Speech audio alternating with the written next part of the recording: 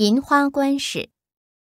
此银花冠饰出土于扶余郡扶余邑灵山里灵内谷古坟群三十六号坟。